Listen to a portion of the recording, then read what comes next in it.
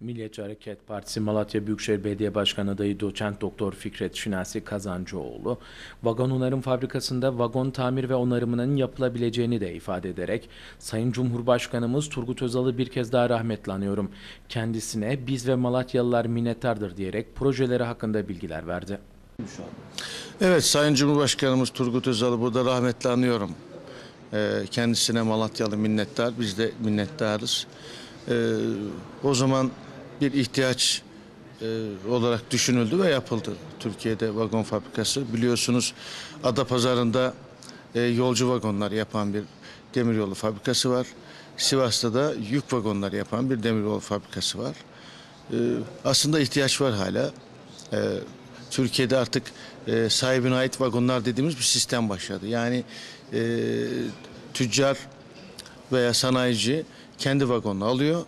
E, mevcut demiryolunda e, taşımacılık yapıyor. Fakat bu vagonların tamiri, bakımı veya yurt dışından gelen vagonlar e, buralarda yapılabilirdi. Buna yönlendirilebilirdi özel sektör. Maalesef çok üzülerek görüyorum. Gerek yanından geçerken, gerek uçakla üstten gelirken içim buruk oluyor vagon fabrikasını görünce. Ben e, her kısmında e, bulundum diyemem ama inşaatını da yakinen biliyorum. E, bitmiş halini gittim gördüm yakinen yani çok üzülüyorum. E, orada yaklaşık 50 bin metrekare kapalı alan olan bir yer. Malatya için çok e, güzel şeyler olabilirdi.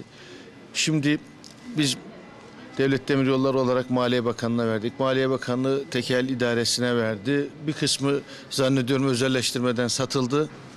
Bir yığın halinde çok üzülüyorum. Hiçbir şey yapmasak ki bununla ilgili de bir projemiz var. Ee, bir kısmı burada açıklayayım. Doğu ve Güneydoğu Anadolu'nun fuar merkezi yapabilirdik. Uluslararası fuar merkezi yapabilirdik. Hiçbir şey yapmasak. Ee, orada yapılacak çok şeyler var. Bununla ilgili benim de bir projem var. Ee, çünkü bir kısmı e, özel şahsa satılmış. Ee, bakacağız ne yapabiliriz ama.